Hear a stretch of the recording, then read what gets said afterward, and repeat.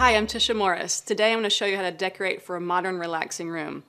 Modern design often gets a bad rap for being cold and sterile, but it doesn't have to be that way. Today I'm going to show you some ways to make a room not only feel modern, but also relaxing. Here we have a white sofa. The color white will automatically make a room look modern, clean, and simple. You might think white could get dirty really easily, but with slip covers you can throw them in the wash just as easy as you were cleaning your sheets.